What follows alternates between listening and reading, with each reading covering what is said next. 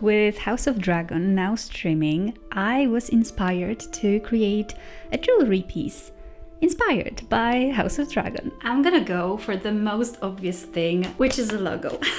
but it's just so perfect. This is going to be a challenging job with the sewing because I'm going to have to sew it out of the brass sheet. Fingers crossed.